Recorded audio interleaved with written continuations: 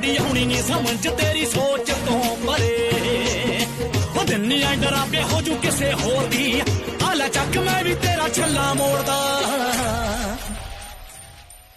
ਉਹ ਤੂੰ ਤਾਂ ਫਿਰ ਮਿੱਤਰਾਂ ਦਾ ਦਿਲ ਤੋੜ